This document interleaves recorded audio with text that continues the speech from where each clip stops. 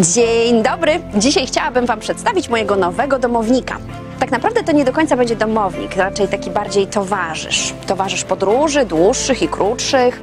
E, będziemy nawzajem o siebie dbali, e, będzie nam razem bezpiecznie i ten związek nie będzie dla żadnej ze stron szczególnie obciążający.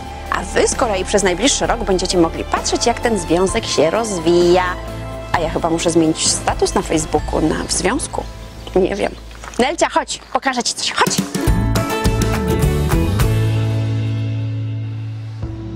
Oto moje nowe Polo. Volkswagen twierdzi, że to jest najkorzystniejsze auto, jeśli chodzi o koszty zakupu i koszty utrzymania. A ja postanowiłam powiedzieć sprawdzam i będę to dla Was monitorować przez najbliższy rok. Ale zanim pogadamy o tym samochodzie, pomówmy o tym, jak w ogóle sensownie wybrać auto. Wiecie, kogo podziwiam, jeśli chodzi o zwyczaje samochodowe najbardziej? Włochy i Skandynawię. No, z pozoru dzieli je absolutnie wszystko, ale łączy jedno rozsądne podejście do samochodów. Tam się jeździ autami dostępnymi. Nawet bardzo dobrze sytuowani ludzie nie jeżdżą wypasionymi furami i limuzynami, tylko bardzo często mają po prostu zwyczajne samochody.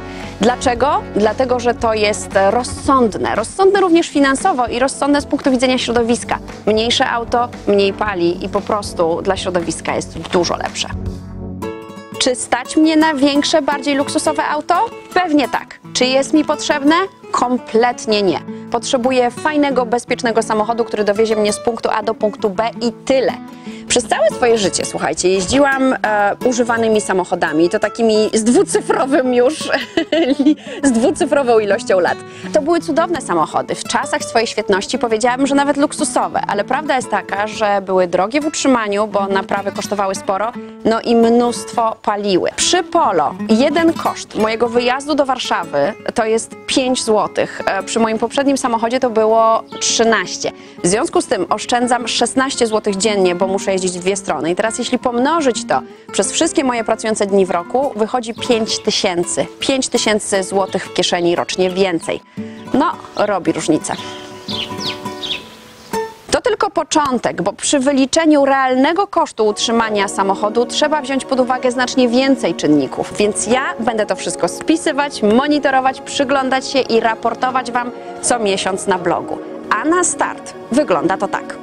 Koszty zakupu nowego Polo są minimalnie wyższe niż konkurencji z tej samej półki, do której się zalicza Renault Clio, Ford Fiesta, Toyota Yaris, Opel Corsa czy Nissan Micra.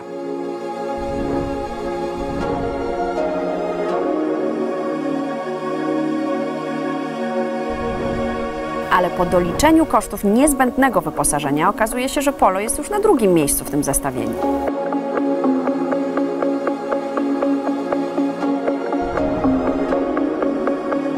Teraz przypatrzmy się, jak wygląda historia, kiedy chcemy się rozstać po 4 latach i 60 tysiącach wspólnych kilometrów. Polo traci na wartości najmniej. Nadal będzie warte ponad 55% swojej startowej ceny. Teraz koszty utrzymania auta. Wiadomo, składają się na nie koszty paliwa, ale niemałe są też kwoty za przegląd. W Volkswagenie można dziś wykupić pakiet przeglądów za 99 zł, co przez 4 lata pozwoli zaoszczędzić blisko 2000.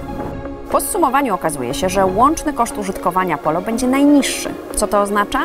Że choć Polo nie jest w momencie zakupu najtańsze w swojej klasie, to jednak biorąc pod uwagę całość kosztów, jest jednak najkorzystniejsze cenowo. To by było na tyle, jeśli chodzi o dane z Eurotax. A teraz ja biorę się za sprawdzanie w praktyce, jak to wszystko będzie funkcjonowało w takim prawdziwym życiu. Raz w miesiącu będę Wam zdawać raport z tych wszystkich informacji na moim blogu. Zobaczymy, jak koszty eksploatacji będą się kształtowały miesiąc po miesiącu. A już za parę tygodni trochę jeszcze pojeżdżę i powiem Wam, w jakie wyposażenie dodatkowe warto zainwestować i co to ma fajnego. Mój nowy, bardziej czerwony. Zobaczymy, jak ta relacja będzie się utrzymywać. Do zobaczenia!